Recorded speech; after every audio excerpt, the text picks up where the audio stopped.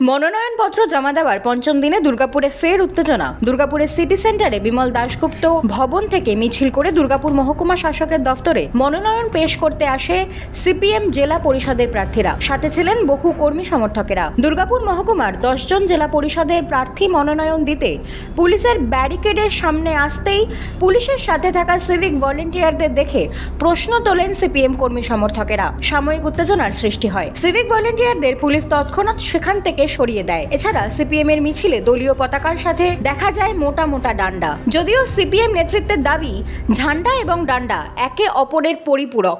প্রতিরোধের ভাষা হচ্ছে এটাই আমি আপনাকে বলি।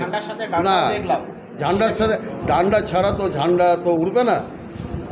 ডান্ডা দিয়েই ঝান্ডাকে হচ্ছে ওড়াতে হয়। খালি হাতে ঝান্ডা ওড়ে না। সেই জন্য ডান্ডার সাথে ঝান্ডা আবহমান কাল ধরেই এটা চলে আসছে। ইউ বাংলা টিভি হৃদয় ছুঁয়ে যায়